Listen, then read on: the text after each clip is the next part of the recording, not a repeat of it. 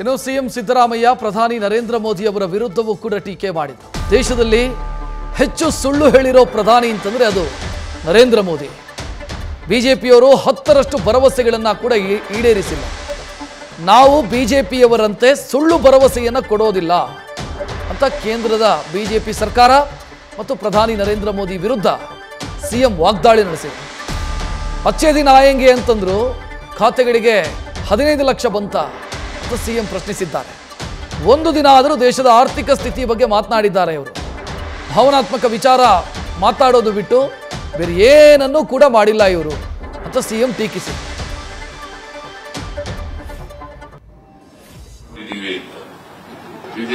ಕೆಲಸ ಇಲ್ಲ, ಖಾಲಿ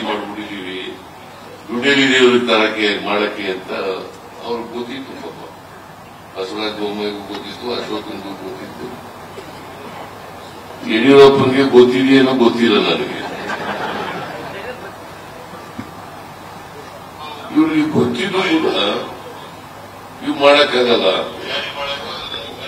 ನರೇಂದ್ರ ಮೋದಿಯವರೇ ಈ ಗ್ಯಾರಂಟಿಗಳನ್ನ ಒಂದು ವೇಳೆ ಜಾರಿ ಕೊಟ್ರೆ, ಜಾರಿ ಮಾಡಕ್ ಸಾಧ್ಯನೇ ಇಲ್ಲ.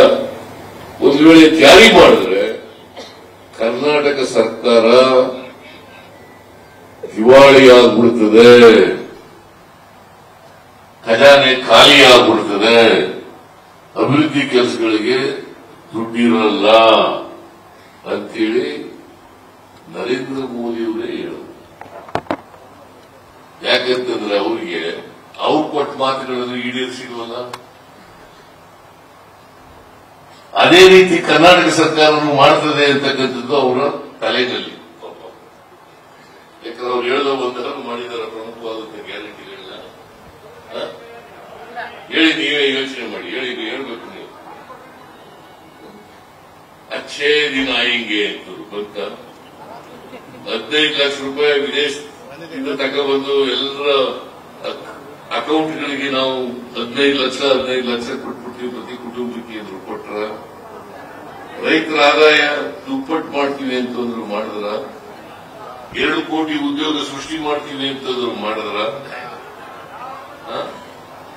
ನರೇಂದ್ರ ಮೋದಿ ಇವುಗಳ ಬಗ್ಗೆ ಮಾತಾಡಲ್ಲ ನಿರುದ್ಯೋಗದ ಬಗ್ಗೆ ಮಾತಾಡಲ್ಲ, ಬೆಲೆ ಏರಿಕೆ ಬಗ್ಗೆ ಮಾತಾಡಲ್ಲ. ರಾಜ್ಯ ಆರ್ಥಿಕವಾಗಿ ಯಾವ ಪರಿಸ್ಥಿತಿ ಇದೆ ಅಂತಕ್ಕಂಥದ್ರ ಬಗ್ಗೆ ಮಾತಾಡಲ್ಲ. ಇವುಗಳ ಬಗ್ಗೆ ಬಿಟ್ಟು ಮಂಕಿ ಬಾ ಮಂಕಿ ಬಾ ನ್ಯೂಸ್ ಫಸ್ಟ್. ನಿರ್ಭೀತಿಯಿಂದ ನಿಮ್ಮ ಪರವಾಗಿ.